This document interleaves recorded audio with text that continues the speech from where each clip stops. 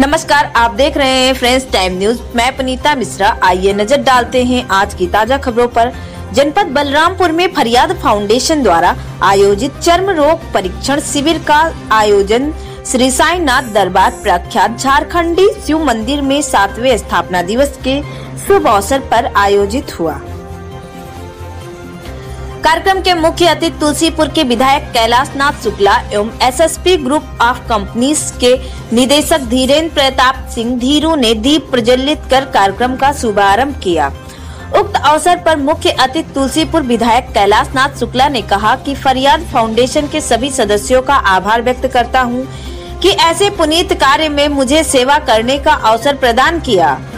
यह बहुत ही आवश्यक कदम है चर्म रोग से लोग काफ़ी पीड़ित हैं। इसका कैंप कहीं पर नहीं लगता इस शिविर के माध्यम से आप सभी को निशुल्क दवाइयाँ, निशुल्क जाँच एवं परामर्श दे रहे हैं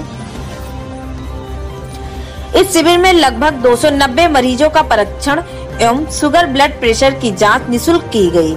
परामर्श के साथ साथ निशुल्क दवाएँ प्रदान की गई उन्होंने कहा कि फाउंडेशन द्वारा गरीब बच्चों को किट भी मुहैया कराया जाता है, जिसमें बच्चे के पालन पोषण की सभी आवश्यक वस्तुएँ रहती हैं। विशिष्ट अतिथि धर्मेंद्र प्रताप सिंह धीरू ने कहा कि बलरामपुर में चर्म रोग से पीड़ित लोगों की सेवा, परामर्श एवं दवाइयाँ वितरित किए जाने के कार्य की सराहना करते हुए कहा कि हमसे जो भी संभव मदद चाहिए, मैं करने के लिए कृत संकल्पित हूँ उक्त अवसर पर लखनऊ से पधारे पीके सिंह फाउंडेशन के संस्थापक सदस्य DP Singh Vais, Himanshu Mani Dixit, doctor Shana Farheen Shashi Bhushan Kranti, doctor Najma अमन, यासिर रसूल खान। सोनू मिश्रा